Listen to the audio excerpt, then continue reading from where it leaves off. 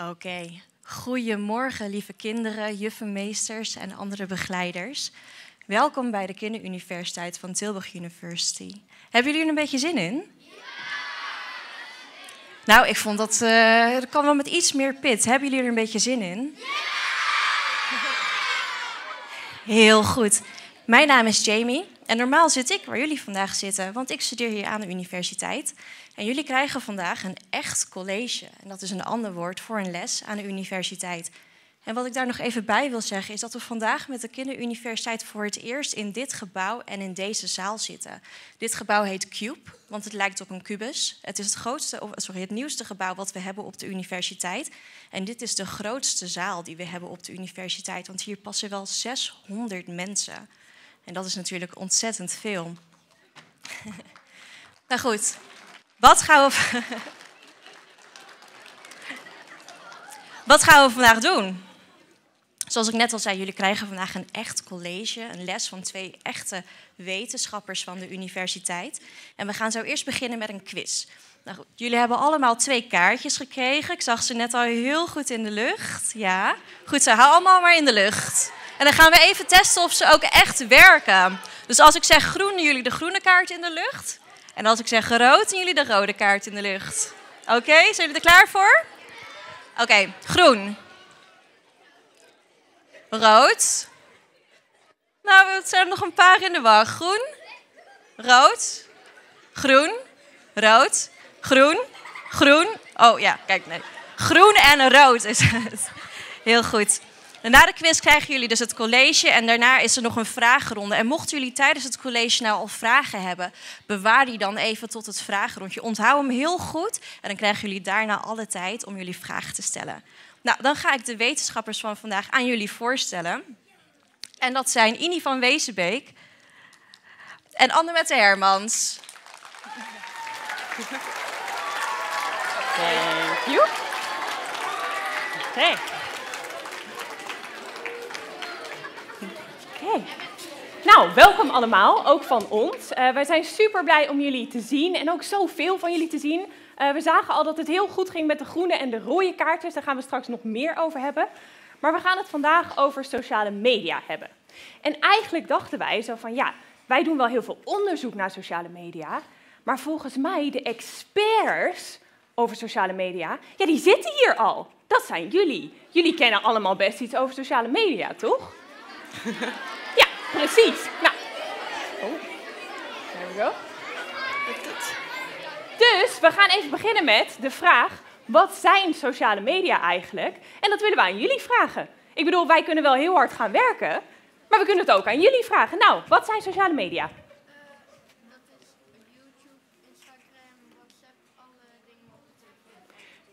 Ja, YouTube, Instagram, ik hoor meteen allemaal platformen. Uh, ja, helemaal goed. Ja, daar ook nog eventjes. Heel goed.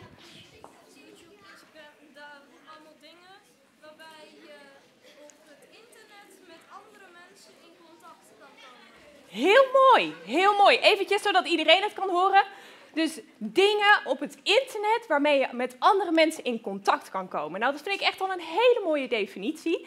Dus nou, wij hebben ook wat dingetjes op elkaar, uh, of bij elkaar gezet. Dus hier hebben we wat sociale media kanalen. Dus nou, hè, de Facebook, Instagram, Snapchat, ook heel belangrijk. Dus het zijn online platformen. Even kijken hoor. Ik denk als het nu een beetje stil kan zijn, we gaan straks allemaal vragen aan jullie stellen, dan kunnen jullie heel veel praten. Uh, maar in een college is het eigenlijk ook een beetje de bedoeling dat wij proberen iets te zeggen en dan vragen we iets en dan kunnen jullie weer wat zeggen. Oké? Het zijn online platformen en heel belangrijk, het is niet zoals bij een krant dat een journalist dingen opschrijft en die geeft dat dan aan jullie, maar het zijn de gebruikers zelf die iets maken. En dat kunnen filmpjes zijn, dat kunnen artikelen zijn, foto's plaatsen, dat kan eigenlijk van alles zijn. Dus die, je deelt verhalen, kennis, ervaringen. En er zit een heel slim algoritme achter.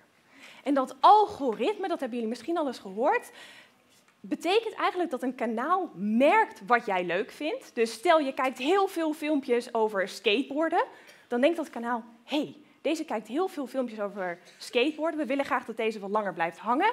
Dan geven we nog veel meer filmpjes over skateboarden. Of over de Barbie-film, of wat het dan ook maar is wat jij leuk vindt. En dat betekent dus ook dat jij misschien wel iets heel anders ziet dan je klasgenoten. Dus als jullie sociale media zouden openen, dan zouden jullie misschien wel hele andere dingen krijgen. Oké? Nou, nu weten we allemaal een beetje wat sociale media zijn, dus dan kunnen we beginnen met de quiz. Dus pak je kaarten erbij. Ik zie dat jullie al heel uh, enthousiast met de kaarten erbij zitten. Nou, dan beginnen we meteen met een battle. Oké, we willen eigenlijk weten welk platform jullie denken dat populairder is. Is dat rood, YouTube, of groen, TikTok? Meningen zijn verdeeld. Ja, meningen verdeeld. Oké. Oké, nou we zien een beetje van allebei. Maar het is toch echt YouTube. Oké, ja, ja. Heel goed voor de rode. Heel goed voor de rode. Ja, ja, ja, ja, ja. Maar, hoe lang kijken kinderen dan? En dat zijn kinderen van jullie leeftijd, hè? 7 tot 12. Hoe lang? 5 uur per week of 12 uur per week? Oeh. Oh, dat is wel lang. Dat is lang. Oké. Ja, ik moet jullie teleurstellen. Het is vijf uur per week. Ja, ja. Dus het is ongeveer. Het is ongeveer 45 minuten per dag. Oké, 45 minuten per dag. Even kijken. We... Ah, ja, ja. Oké, en dan gaan we eigenlijk nog even kijken wie hier in de zaal de koning of koningin van sociale media is. Oké? Ik weet niet of dat, dat een hele positieve titel is, oké, maar we gaan kijken wie er hier in de zaal het langste op sociale media zit. Oké? Dus we beginnen met, hou je groene kaartje omhoog. Wie zit hier 15 minuten of meer per dag op sociale media? Ah, dat is bijna iedereen. Oké? Ouders en leerkrachten kunnen ook meedoen trouwens, hè? Uh, ja, ja. Meer dan 30 minuten. Omhoog houden als het meer dan 30 minuten is. Per dag, hè? 45 minuten. Oké, dit is het gemiddelde. Een uur. Naar beneden halen als het niet meer zo is, hè? Jullie zitten allemaal ongeveer een uur? Anderhalf uur per dag. Naar beneden halen als het niet zo is, hè? Twee uur per dag. Tweeënhalf uur per dag. Jullie moeten ook naar school, hè? Ja, maar het is per dag, hè? Drie uur per dag. Vijf uur per dag. Oké, ik denk, we hebben hier heel veel mensen die vijf uur per dag zeggen op sociale media te zitten. Ik denk dat we het hier stoppen, oké? Want ik denk, als je vijf uur per dag op sociale media zit, misschien na dit college gaat dat dan toch een beetje veranderen. Oké? Op sociale media kijken jullie niet alleen naar jullie vrienden, maar kijken jullie misschien ook naar influencers, zoals Enzo Knol of meisje Jamila. Beschrijven jullie die influencers eerder als jullie vriend? Steek dan je rode kaartje omhoog. Of zijn het bekende Nederlanders? Dan mogen jullie jullie groen kaartje omhoog steken.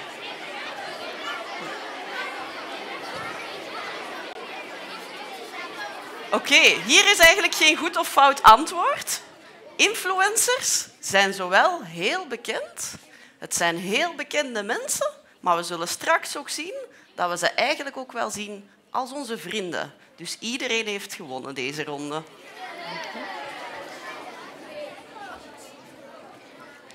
Oké, een beetje een, een, een vraagje om over na te denken. Voel je je wel eens onzeker door wat je ziet op sociale media? Rood als nee is, groen als het ja is. Ook hier, hier zijn de meningen een beetje verdeeld. Ik zie, ik zie ook, ja, ik zie ook een paar groen en rood. Ja. Ik, ik vind het heel mooi. Ja. Sommigen zetten rood en groen. Ja. En jullie zullen merken na vandaag dat er eigenlijk heel veel mensen zijn die zich wel eens onzeker voelen als ze op sociale media rondkijken. Dus eh, dank jullie wel. Ja. Goed, ehm, we zijn een beetje direct begonnen met de quiz, maar wij willen onszelf ook eventjes kort voorstellen. Wie zijn wij? Ik ben Ini van Wezenbeek en hier op de Tilburg University onderzoek ik alles rond influencers. Ik doe onderzoek naar hoe influencers ons gedrag ja, een beetje gaan sturen. Wat dat ze eigenlijk ons gaan ehm, doen kopen, bijvoorbeeld. Een fun fact over mij. Ik heb een beroemde kat op ehm, Instagram. Dus mijn kat heeft een eigen profiel. En je ziet niet enkel influencers, je ziet soms ook katten, hondjes en heel grappige dingen. Dit is mijn kat. Ehm, het algoritme waar we het daar straks over hadden, dat bepaalt wat ik leuk vind, toont mij heel veel fotootjes en filmpjes over skivakanties en fitness. Dat ben ik. Dankjewel. Mijn naam is Annemette Hermans eh, en ik doe eigenlijk allemaal onderzoek rondom schoonheid. Wat vinden we mooi? Waarom vinden we dat mooi? En wat doen we ook aan onszelf misschien om mooier te worden of mooier te lijken? Oké? Nou, eh, een fun fact eh, over mij is dat ik zeven jaar in Engeland heb gewoond. Eh, ik kom uit Groningen, uit het noorden van het land. Maar als ik dus af en toe heel per ongeluk een Engels woordje gebruik, ja, sorry, maar dat komt dan toch omdat ik een hele tijd in Engeland heb gewoond. En ja, ik ben een heel groot Harry Potter fan. Ja, oh, er zitten hier Harry Potter fans in de zaal. Nou, hartstikke leuk. Ja, hartstikke leuk. Dus wat krijg ik te zien als ik mijn sociale media open? Ik krijg allemaal Harry Potter quizjes of feitjes over de boeken of de films. En nou, dat leidt me eigenlijk ook een beetje tot dit college. Want ik was natuurlijk, we waren dit college aan het voorbereiden en toen dacht ik, ik moet iets met filters doen. Dus hè, manieren waarop je eh, een beetje kan spelen met hoe je eruit ziet op sociale media. En toen dacht ik, zou er een Harry Potter filter op Snapchat zitten? Oh jawel hoor, er zat een Harry Potter eh, filter op Snapchat. Dus eh, nou, ik was hier heel hard aan het werk met het college voorbereiden. eh, en ik heb dus eventjes een Harry Potter filter gebruikt. En toen dacht ik, hey, dit is leuk. Wat voor filters zijn er nog meer? Want ik zat eigenlijk nog niet op Snapchat, nu wel. Nou, oké. Ja, die herkennen jullie ook. Je mag hier om lachen, dat mag absoluut. Je mag me ook een beetje uitlachen, dat maakt helemaal niet uit. Ehm, maar goed, dit kan dus hartstikke leuk zijn. En ik vond het ook leuk om een beetje met die filters te spelen, met hoe ik eruit zag. Ik ben heel blij dat ik er niet echt zo uitzie, maar goed. En dat leidt me ook meteen tot, ja, waarom gebruiken we eigenlijk sociale media? Want hè, het komt soms heel negatief, ook in de kranten, misschien op school ook wel zo van, oh, we moeten eigenlijk helemaal geen sociale media gebruiken. Maar er zitten eigenlijk ook hele positieve kanten aan. Dus een van de dingen is, het kan gewoon hartstikke leuk zijn om bijvoorbeeld filmpjes te kijken, om wat rare filters te gebruiken en die dan misschien te delen met je vrienden of je vriendinnen of je klasgenoten. Ehm, dus dat kan hartstikke leuk zijn. Dus het kan ook een beetje het contact met mensen bevorderen. En dat hoeft niet alleen te zijn met mensen in je klas, maar het kan daar ook buiten zijn. Stel, je zou niemand hebben en jij zou heel groot Harry Potter fan zijn en in jouw klas vindt iedereen Harry Potter maar stom. Nou, dan kan je misschien wel via sociale media mensen vinden. De vragen mogen aan het einde, dan komen we echt bij je terug. Ehm, maar dan kan je misschien wel mensen vinden die Harry Potter wel heel erg leuk vinden. En dat kan ook een beetje een goed groepsgevoel geven eigenlijk. Dat je ergens onderdeel van uitmaakt. En als laatste, het kan ook inspiratie geven. Misschien zie jij wel dingen op sociale media, in YouTube-filmpjes of op Instagram of op Snapchat, waarvan je denkt, hé, hey, dat is leuk, dat wil ik ook uitproberen. Een nieuwe hobby bijvoorbeeld. Ehm, of uh, leuk van die, van die pop-it speelgoeddingen. En Pokémon, ik dacht, ik gooi Pokémon er ook in. Of de krompoes, wat nu heel populair is. Die halve tompoes uh, croissant-achtige dingen. Dat je denkt, dat is leuk, dat wil ik ook uitproberen. Maar ik moet wel zeggen, het is niet alleen maar leuk. Want we hebben het nu natuurlijk gehad over uh, dingen die wij zelf willen zien, die we zelf opzoeken. Maar het kan ook gebeuren dat je dingen ziet waarvan je denkt, oeh, dit had ik eigenlijk liever niet willen zien. Bijvoorbeeld in een advertentie of in een aanbevolen filmpje waar je op klikt omdat je denkt, oh misschien is dit wel een beetje hetzelfde. En dan is het misschien wel veel extremer of over iets waarvan je eigenlijk het liever niet had willen zien. Oké? En bovendien, ja, en dit is ook wel een beetje waar wij wetenschappers ons wel een beetje zorgen over maken. Al die hele korte filmpjes en die korte berichtjes, die doen ook iets met onze, onze focus, onze concentratie. Oké?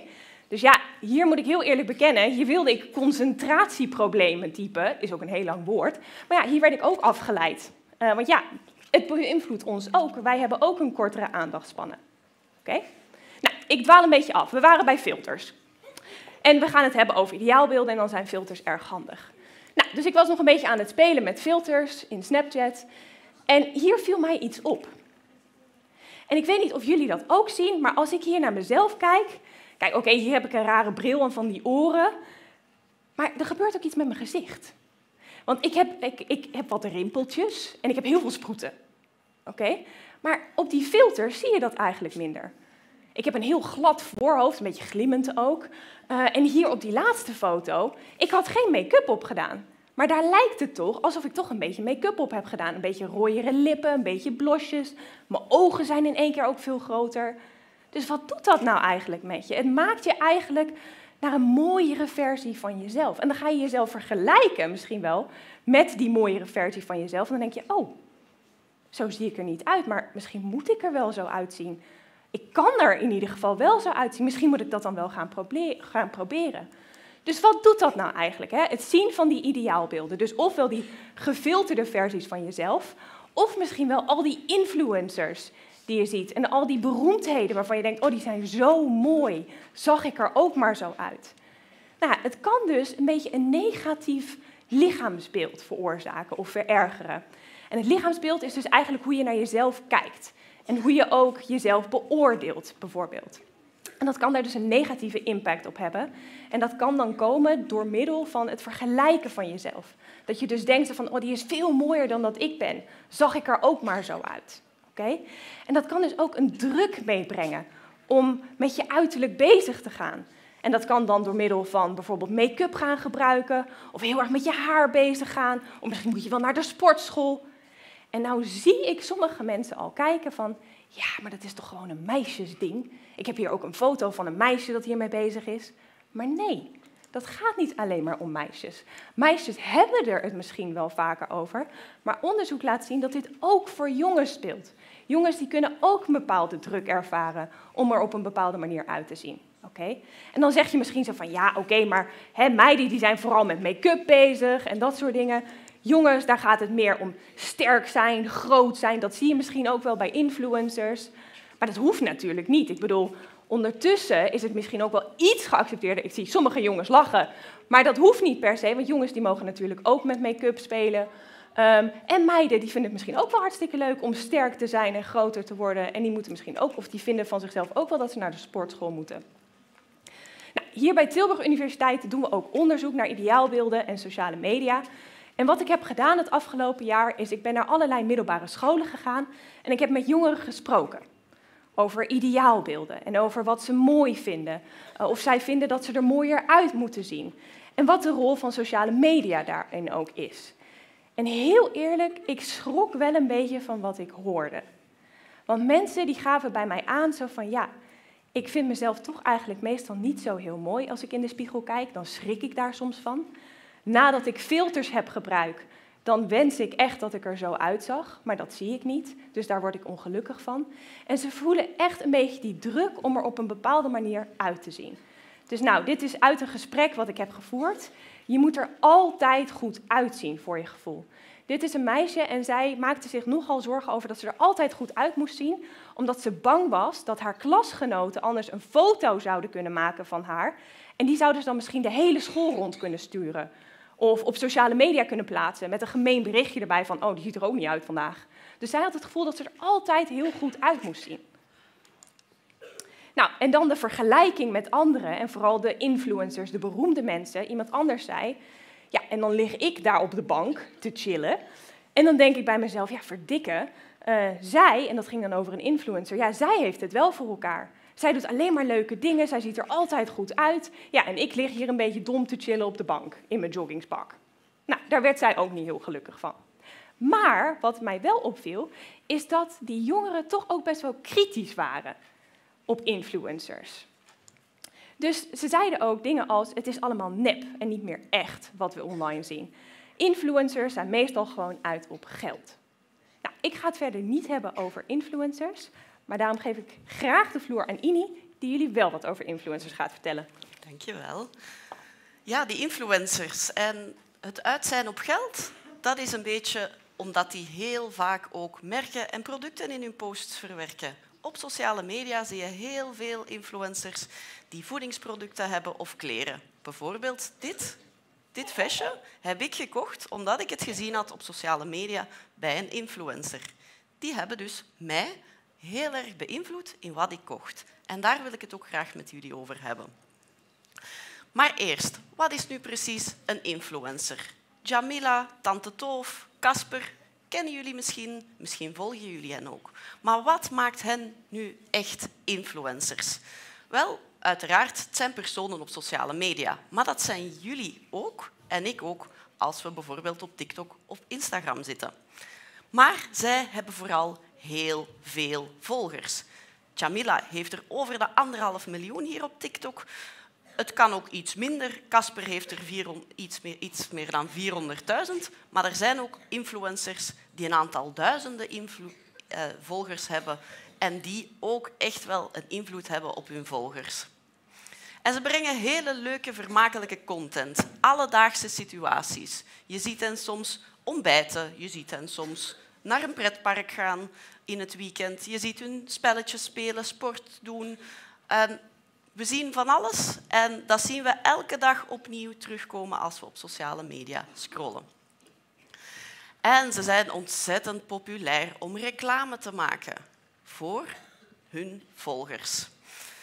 Maar waarom eigenlijk? Waarom? Wel omdat ze echt mensen kunnen beïnvloeden. En die beïnvloeding, daar zijn eigenlijk drie redenen voor. Waarom? Dat als we naar een influencer kijken, dat we wel echt wel gaan geneigd zijn om te volgen wat zij doen. Reden 1. Influencers lijken op ons. Het is niet zo dat zij in een film per se in het begin meespelen. Nee, zij tonen heel vaak hun dagelijkse leven en ze zijn heel herkenbaar. Misschien volgen jullie ook influencers van jullie eigen leeftijd. En niet altijd volwassenen. En het feit dat die influencers toch nog heel erg dicht bij de gewone mensen lijken te staan, maakt hen ook heel erg dicht bij ons. Maar wat maakt hen dan zo speciaal? Wel, ze lijken erg veel te weten. Denk aan een gaming-influencer. Als hij elke dag filmpjes maakt rond gaming, dan heb jij als volger echt het idee dat dat een gaming-expert is. Als je een gamingspel wil gaan kopen of vragen aan je ouders om een gamingspel te kopen, wel, dan ga je misschien eerst naar die influencer kijken, omdat die wel weet waarover dat hij spreekt. Hetzelfde bij make-up, bij fitness-influencer. Influencers lijken door hun posts heel veel te weten waarover dat ze praten. En tenslotte, ze lijken niet alleen erg op ons en ze weten of ze, en ze lijken erg ja, expert, maar het lijken ook onze echte vrienden. Want we kunnen er ook een beetje mee praten. En dat praten is niet zoals dat ik hier met Annemette praat. Het gaat echt over het um, likes geven en comments. Jij kan reageren als een influencer. Ik zie mensen knikken. Je kan echt reageren als een influencer een post plaatst. Je kan ook een comment plaatsen. Heel soms zie je dat de influencer ook antwoordt op je comments. Jee, leuk, die heeft naar mij geluisterd. Of als je kijkt in TikTok-filmpjes, dan zegt de influencer ik kreeg heel veel vragen van mijn volgers. Ik ga die nu beantwoorden. Ik weet niet of jullie zo'n filmpje al eens gezien hebben, maar zo'n filmpje geeft je echt de indruk dat de influencer je vriend is. En wanneer dat iemand je vriend is, als die zegt je moet dit product kopen, wel, een vriend is iemand die we toch sneller geloven dan iemand die heel ver van ons afstaat. Nu, ik heb dit vestje gekocht. Ik ben daar eigenlijk heel erg blij mee. Ik vind dat een leuk vestje. Ehm, dus super, ik heb iets gekocht van een influencer. Is dat eigenlijk wel een probleem? Wel, het gaat wel verder dan gewoon producten alleen al. Bijvoorbeeld, influencers tonen heel veel ongezond gedrag. Je hebt heel veel influencers die fastfood tonen. Die tonen dat er frietjes gegeten worden. En dat is inderdaad niet erg als dat eens een keer gebeurt. Maar als je heel de tijd met ongezond eten op sociale media zit en je gaat daardoor denken van ja, dat is, dat is wat er moet gegeten worden. Dat is uiteraard niet gezond. Hetzelfde met roken. Als influencers die lijken op je vriend gaan roken, dan gaan tieners die iets ouder zijn dan jullie misschien ook geneigd zijn om te gaan roken. En dat is jammer, want roken is uiteraard niet gezond. Ander probleem. Influencers tonen prachtige beelden. Maar zijn die beelden ook altijd waar? Is wat influencers zeggen ook altijd perfecte waarheid? Nee, niet altijd. Vaak als ze bijvoorbeeld op reis zijn geweest naar de Eiffeltoren en ze tonen je foto's van aan de Eiffeltoren van ik ben in Parijs geweest, ben je dan helemaal zeker dat die influencer echt wel in Parijs is geweest? Of heeft hij bij een namaak Eiffeltoren dingen zitten fotograferen?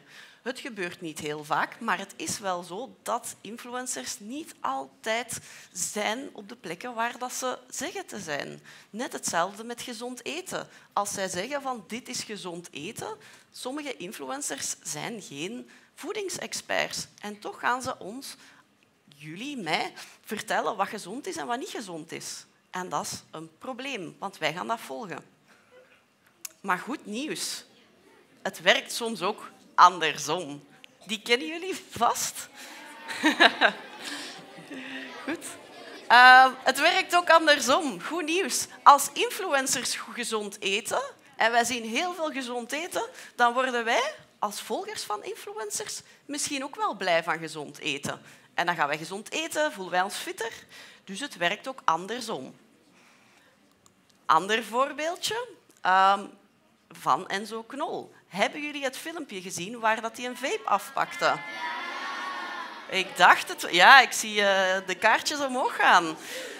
Vapen, een soort van roken met een elektronisch toestelletje, is niet gezond. Maar Enzo Knol heeft het weggegooid. Heeft het afgenomen van een kind. En wanneer Enzo Knol dat doet, het is een expert. Hij lijkt ergens nog wel op ons, want we zien hem vaak. En hij lijkt onze vriend. Ja, dat is fantastisch, want dan gaan degene, de jongeren die gaan willen vapen, misschien denken, goh, toch niet. Want Enzo die zegt eigenlijk dat niet te doen. En ook hier in Tilburg doen we onderzoek naar die fitness-influencers. En influencers in het algemeen trouwens. Um, fitness-influencers, ik zei jullie daar straks al dat ik heel veel filmpjes krijg over fitness. Dat is een beetje omdat ik voor mijn onderzoek heel veel fitness um, content heb, uh, fitnessfilmpjes heb moeten zoeken. En nu blijf ik fitnessfilmpjes zien op Instagram. Um, maar die fitness-influencers die hebben de uh, bedoeling om mensen aan te zetten tot sporten. En ook dat is weer een gezond gedrag. Dat aanzetten tot sporten is iets dat een influencer op zich wel zou moeten kunnen. Als een influencer gaat sporten, dan ga jij als volger misschien ook wel willen gaan sporten. En we hebben dat eens onderzocht. En we hebben dat niet aan kinderen of jongeren gevraagd. We zijn dat eigenlijk gaan vragen aan eerder de studenten, de jongvolwassenen. Um, en degenen die fitness-influencers keken, en dat waren er best wel veel, de helft daarvan had al eens echt sportoefeningen nagedaan. Dus je kan dat voorstellen, ze zien een fitnessoefening op sociale media en daarna doen ze die na. De helft daarvan. En dat is op zich goed nieuws, want mensen die fitness-influencers volgen, gaan daardoor misschien sneller gaan sporten. Fantastisch. Maar er is ook een beetje een probleem. Die fitness-influencers die tonen echt die ideale beelden. Die ideale beelden waar we het daar net over hadden. Die tonen echt het perfecte lichaam. Mooie, mooie tussen haakjes spieren die je duidelijk kan zien, die je in het echt eigenlijk amper bij iemand, zelfs bij de fitness-influencer, goed gaat kunnen zien. En dat maakt dat die fitness-influencer echt de perfecte persoon is om je teleurgesteld mee te voelen. Als je naar die persoon gaat kijken, dan denk je, oh, ik ga nooit zo'n buikspieren hebben. Ik ga nooit zo'n sterke armen hebben. Dit is onhaalbaar. En we zagen dat ook in onze studie terugkomen. We hebben dat gevraagd aan die jongvolwassenen van kijken ze op naar influencers en wanneer dat ze echt die influencer zagen als een ideaal, als iets dat ze heel graag wilden bereiken, dan werd dat ideaal eigenlijk een beetje onhaalbaar. En dan voelden ze zich erg teleurgesteld met zichzelf en het eigen lichaam. En dat is iets dat je op sociale media kan zien bij die influencers, ook in het bijzonder, omdat die zo'n grote invloed hebben op ons. Maar wat kunnen we daar nu aan doen? Want sociale media, we gebruiken het jullie, een aantal van jullie tot vijf uur per dag, ontzettend lang. Maar wat kunnen jullie doen op sociale media om dat te vermijden? Wel, twee begrippen, twee woorden die in onderzoek heel vaak terugkomen, zijn mediawijsheid en reclamewijsheid. Wijsheid over media en reclame. Wat betekent dat nu? Wel, als we op sociale media gaan, dan moeten we weten dat niet alles waar is. En dat soms een post ook effectief gesponsord is. Dat een mening van een influencer niet altijd de oprechte mening is. Daarnaast ook voelen. We moeten niet alleen weten wat dat influencers doen, wat dat ze zijn en dat sociale media het ideaal representeert. We moeten ook voelen en erbij nadenken van, goh, ik voel mij nu teleurgesteld. Jullie staken jullie kaartjes soms omhoog bij het onzeker voelen. Van als je je onzeker voelt, goh, waarom voel ik mij onzeker? Hoe komt dat? En is dat wel echt nodig? Dus echt goed nadenken, wat doet die sociale media nu met mij?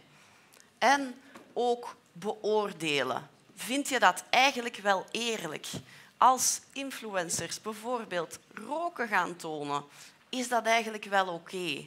Echt niet gewoon maar scrollen.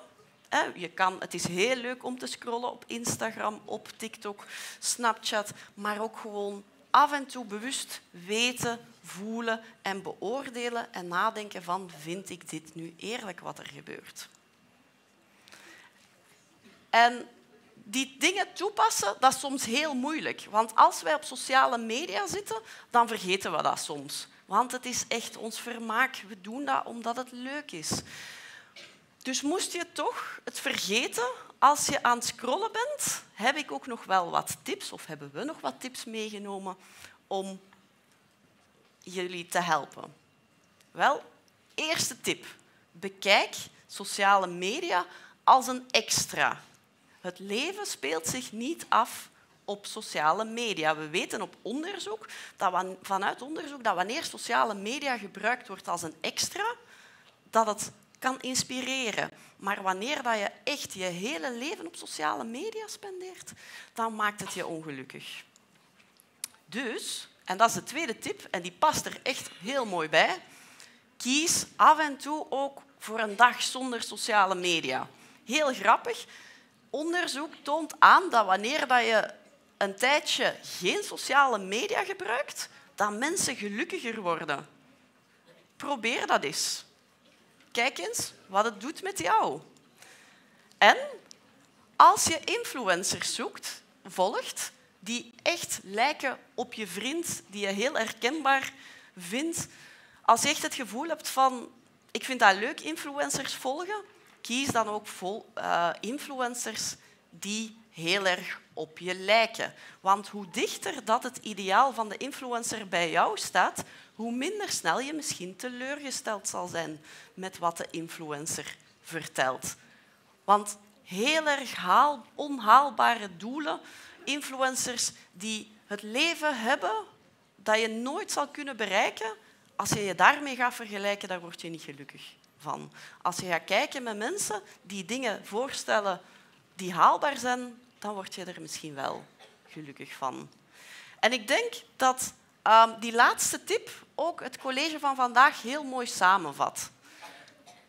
Je moet op sociale media proberen kijken naar dingen die nog haalbaar zijn, niet de ideale beelden. Want het ideale plaatje, het ideale beeld op sociale media maakt ons niet gelukkig. Voilà, dank jullie wel.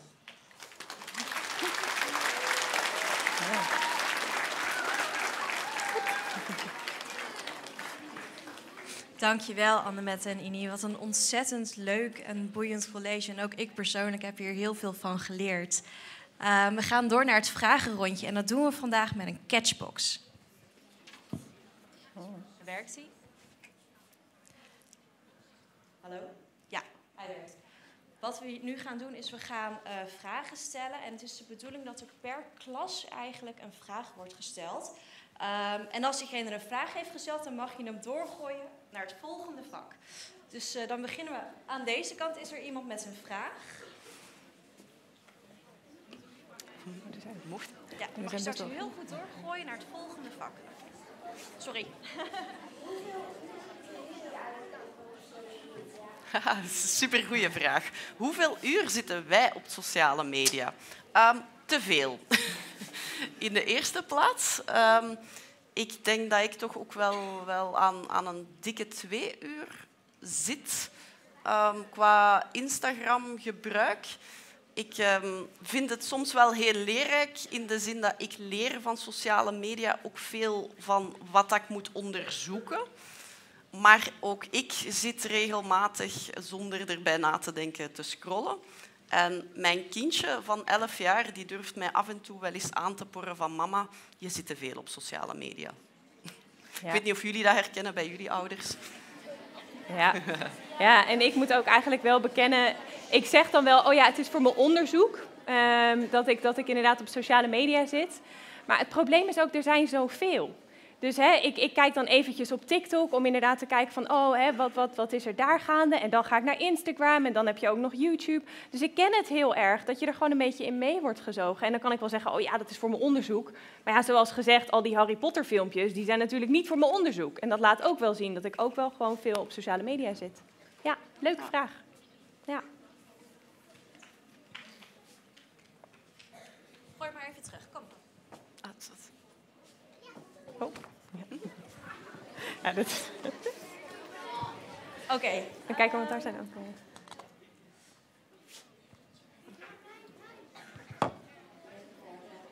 Daarachter van een andere klas. Ja. Oh, nee. maar als je eenmaal aan het scrollen bent, dan is het toch ook weer heel makkelijk om die tips en zo te vergeten. Ja, ja, absoluut. Die tips zijn heel makkelijk te vergeten. En, want dat scrollen dat is ook echt wel gemaakt om verslavend te zijn. Dat geeft ook in onze hersenen stofjes vrij waar dat wij blij van worden op hele korte termijn. En dat, doordat we helemaal daarin zitten, gaan we de tips soms vergeten. Vandaar dat het soms beter is om ook bewust te kiezen om bepaalde apps misschien niet te gebruiken. Ik heb TikTok er heel bewust van mijn telefoon afgehaald. Um, en ja, je moet ook um, zeker niet tijdens sociale media gebruik, maar ook ervoor en daarna proberen te denken aan de tips. Ja, en spreek het af met iemand anders. Weet je, kijk, als je het samen doet, dat heb je ook, zeg maar, als je bijvoorbeeld stopt met roken, als je daarbij hulp hebt, als je het tegen iemand anders zegt, zo van, oh, ik ga nu even niet op sociale media, bijvoorbeeld met je ouders of met bepaalde klasgenoten, met vrienden, dus van, nou, we gaan nu even niet op sociale media, dan wordt het ook al makkelijker. Dus als je het deelt van, oh, ik ga nu echt wat minder op sociale media zitten, dat helpt ook al. Ja. Oké, okay, nu is het de bedoeling dat je hem naar het, middels, of, uh, naar het vak aan die kant gooit. Gaat dat lukken? Oh. En anders in een paar keer is ook goed hoor. Als jullie hem overgooien naar de kinderen aan deze kant. Ja. Doe maar. Het is oké. Okay. Wauw. Nou, wat een woord.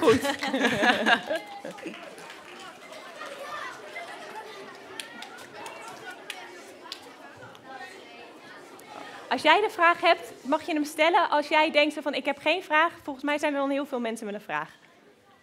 Welke apps gebruik je TikTok.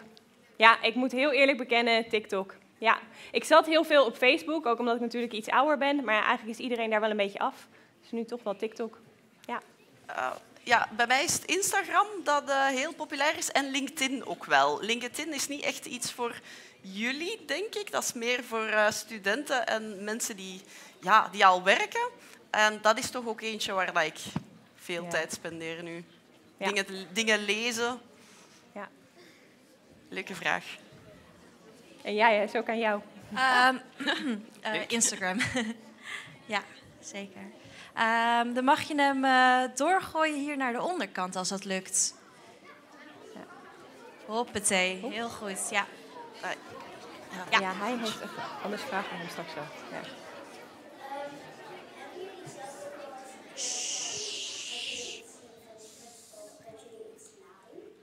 Dat wij iets nadoen. Ja, ik moet heel eerlijk zeggen, ik heb nog nooit een TikTok-dansje uh, gedaan, omdat ik gewoon heel slecht ben in dansen. Maar het lijkt me wel heel leuk om dat een keer te doen. Uh, maar ik heb, net als Ini, heb ik ook wel een keer iets gezien op TikTok en op Instagram waarvan ik dacht, oeh, dat vind ik heel leuk. En toen heb ik het ook gekocht. Dus ik ben ook wel beïnvloed door ja. sociale media. Ja, ja. Ik uh, ook sportoefeningen, producten gekocht ja. dansjes, omdat mijn dochter zei van uh, we moeten dit dansje echt uh, doen. Ik heb dat wel niet opgenomen en op uh, sociale media gezet. Maar wij als onderzoekers weten heel goed wat sociale media met ons doen. Of toch zo goed mogelijk. En toch worden wij er ook door beïnvloed. En dat maakt... Zo zie je maar hoe sterk dat die invloed is. Een heel goede vraag. Kan je... Ja. Kijken. Ja. Ah, ja. Um, als je wilt mag je even opstaan en dan mag je hem richting die, of uh, naar mijn collega daar gooien. Ja, dankjewel. Oh, ook een hele goede worp. Ja. Zo, bam.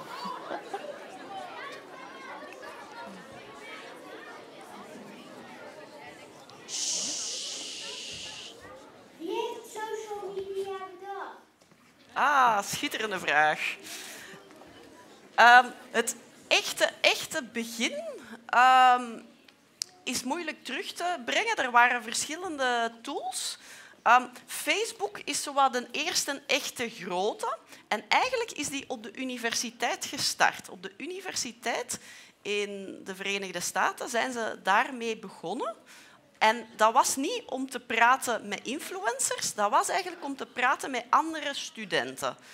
Dus um, de stichter van Facebook, Mark, die had uh, eigenlijk een tool ontwikkeld om studenten met elkaar te laten praten. En dat zijn heel dichte banden. Maar dat werd ontzettend populair. Die studenten vonden dat ontzettend leuk om met elkaar te praten. En daardoor hebben ze eigenlijk gezegd van, wel, we gaan Facebook breder trekken. En dan werden het andere universiteiten. En na de andere universiteiten werd het gewoon de hele wereld. En toen over de jaren heen is het een sociaal media geworden waar we met iedereen van in heel de wereld kunnen praten. Ja, en in verschillende landen hebben ze ook verschillende platforms die heel populair zijn. Dus dit is denk ik heel erg voordat jullie uh, er waren misschien zelfs wel. Maar in Nederland hadden we eerst ook nog Heist. Dat hebben jullie uh, docenten slash uh, ouders misschien nog wel gebruikt. En in China heb je weer een heel ander platform dat heel populair is. Dus er wordt nu eventjes naar de ouders gekeken, ja. ja, maar ook weer een leuke vraag. Ja. Wat leuk dat er zoveel vragen zijn. Ja, er zijn hier Hoeveel? Oh, Ja, ik post eigenlijk helemaal niet zo heel veel. Dus ik, ik zit er echt meer, ik ben echt een beetje een passief uh, gebruiker. Dus ik kijk heel veel, maar ik post zelf eigenlijk heel weinig. Dus ik post soms inderdaad wel dingen op LinkedIn. Bijvoorbeeld dit college wat we nu doen. Dan vind ik het heel leuk om dat met mijn collega's te delen. En dat wordt dan wel een, nou, een paar honderd keer, denk ik, gezien. Um, maar filmpjes en zo, ik, ik, ik doe dat eigenlijk niet. Dus ik heb helemaal niet heel veel views. Ik ben zeker geen influencer. Nee. Um, qua views denk ik dat ik uh, aan 100 views kan geraken. Dat is niet zo heel veel. Maar ik, heb, ik hou mijn eigen sociale media ook heel erg klein. Ik wil niet alles aan iedereen vertellen. Ik heb bijvoorbeeld ook kindjes. En ik ga niet foto's of filmpjes van mijn kindjes op sociale media zetten, omdat ik niet wil dat die verspreid worden. Dus ik hou ook wel het een beetje zelf klein. Oké, dan mag jij nu ehm, dan mag je hem proberen zo hard mogelijk naar die kant toe te gooien. Ja. Zo. En dan, en dan nog één keertje naar het volgende vak. Doe maar. Au.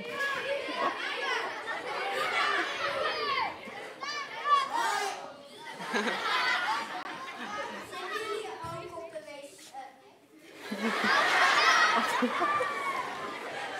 Zijn jullie ook op de telefoon als jullie op de wc zitten?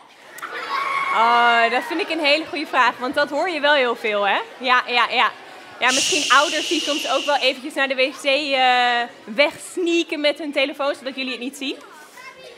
Ja, ik, ik moet heel eerlijk bekennen, ik heb het wel eens gedaan hoor, dat ik mijn telefoon meeneem. Maar ik probeer dat eigenlijk niet te doen, want het is natuurlijk niet heel, heel hygiënisch. Ja, Nee, ik eh, hetzelfde. ja. Oké, gooi je maar naar beneden. Gooi je maar naar bene- richting de onderkant. Doe maar naar beneden.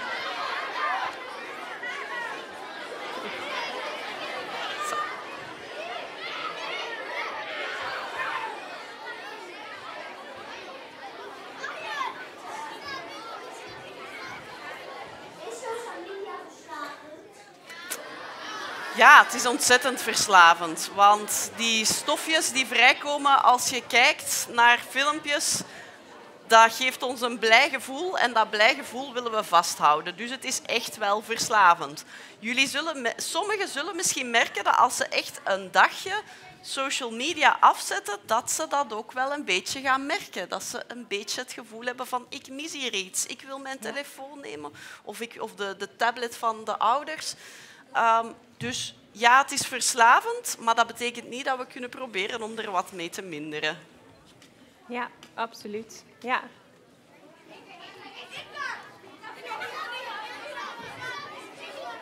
Oh, Ja. De volgende vraag.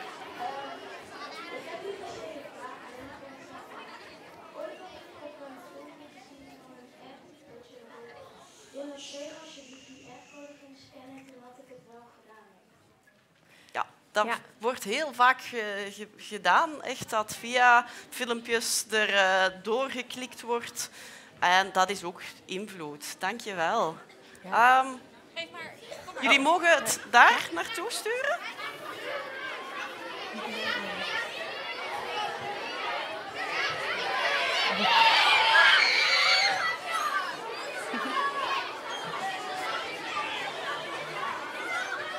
Ja, Wie volgen wij? Oh, ook een hele leuke vraag. Ik volg eigenlijk heel veel mensen. En ik volg ook expres allemaal mensen die bijvoorbeeld heel veel aan zichzelf laten doen om maar mooier te lijken. Dus dat betekent ook helemaal niet dat ik die mensen dan ook echt hele leuke mensen vind, maar ik volg ze wel. Ehm, maar ik volg bijvoorbeeld dus ook heel veel eh, ja, Harry Potter eh, influencers en andere influencers. Ja. ja.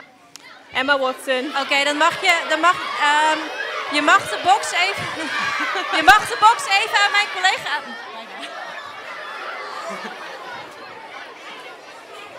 Oxynet. oké. We doen het voor het eerst met die box, dus ik vind Dat is oké, ik- Ja. ja, er is nog een vraag. Ik ben heel benieuwd voor de vraag. Hebben jullie kinderen die langer dan jezelf op social media zitten? Niet voor jou. Ehm, ik heb kinderen waar dat ik al heel veel mee gepraat heb over sociale media. En mijn oudste is eigenlijk de... Want ik heb een kindje van vijf en eentje van, van bijna elf dus. En die oudste, die, heeft, ehm, die zou meer dan mij op sociale media kunnen zitten. Maar ze weet ook hoe verslavend dat het is. En ze probeert erop te letten en ik probeer er ook op te letten. Dus we proberen samen erover te praten ehm, om het toch te minderen. En dat is een iets dat je altijd kan doen.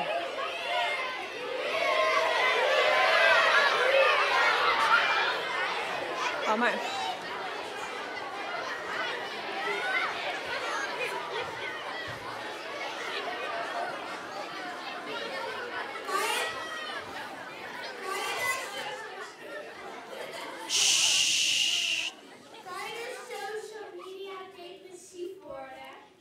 Ja, Nou ja, zeg maar, meestal word je niet alleen maar door sociale media depressief. Meestal zijn er heel veel dingen die dan een rol spelen. Maar het kan er wel voor zorgen dat het misschien erger wordt. Dat kan wel. Maar het is niet zo dat alleen maar door sociale media, dat je dan, meestal is dat niet het geval, dat je dan al depressief wordt. Er zijn echt meerdere dingen.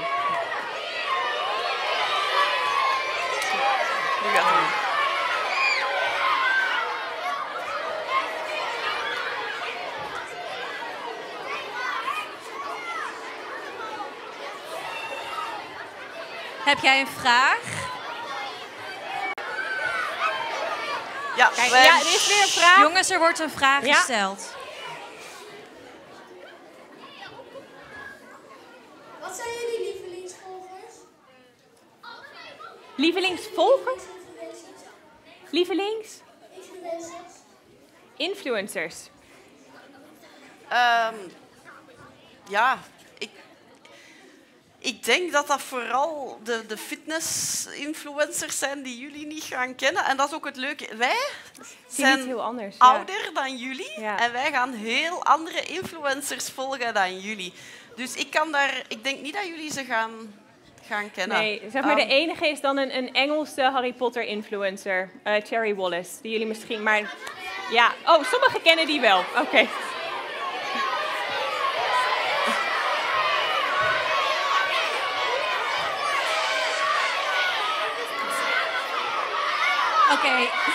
Jongens, we hebben nog tijd voor twee vragen op dit moment. Jongens, we hebben nog twee vragen. Als jullie even willen zitten, dan kunnen we luisteren naar de vragen. Waarom gebruiken jullie één social het meest? Ja, nou, ik, ik vind TikTok ehm, vind ik heel leuk omdat het allemaal korte filmpjes zijn. En op Instagram zitten eigenlijk heel veel van mijn vrienden. Eh, als ik Snapchat zou gebruiken, ja, bijna niemand van mijn vrienden zit daarop. Dus dat, dat is dan niet heel logisch voor mij. Ja. Oké, de allerlaatste vraag.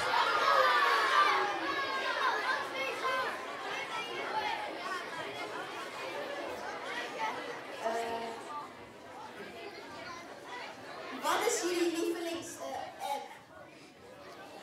app? De, Lievelingsapp van alle apps die er zijn. van alle apps. Ehm, Voor mij is dat een spelletje, denk ik. Ik weet niet of jullie dat spelletje kennen. Eh 2048. Dat je de hele tijd, zeg maar, moet...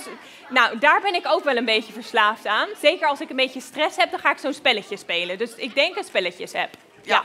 Bij mij is dat Ruzzle. Dat zijn zo woordspelletjes. Dus ik speel heel graag eh, spelletjes. Oké, jongens. Sst, gaan we weer even zitten, want dat was de allerlaatste vraag. Hele goede vragen. Nee, dat was echt de allerlaatste vraag. Dankjewel. Eh Ini en Annemette, ontzettend bedankt voor dit leerzame college. En ehm, normaal gesproken hebben we een bos bloemen, maar voor dit college hebben we het iets anders aangepakt. Oh jee. Ik even helpen. Het lijkt er wel een beetje op, maar jullie kunnen hem nu zelf gaan maken. Dat is Oh, dankjewel. Oh, wat leuk. Oh, Le- Lego is ook leuk, En dan toch? komt bos ja. Superleuk. Dankjewel. Nou, leuk. En dit is ook een bos bloemen die blijft staan. Ja, Die je superleuk. niet weg hoeft te gooien. Mag ik nog één keer een heel groot applaus voor Ini en Annemette.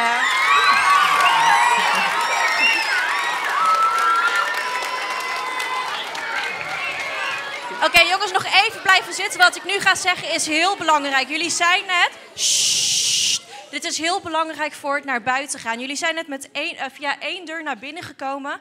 Nu zijn beide deuren, dus links en rechts, open. Jullie kunnen via beide deuren naar buiten. De kaartjes die jullie hebben, de rode en de blauwe, die kunnen jullie achterlaten in de bakjes die daarvoor bestemd zijn. En bij het weggaan krijgen jullie nog een eh, certificaat van de eh, Kinderuniversiteit. Dus heel erg bedankt voor het komen en eh, nou, tot de volgende keer.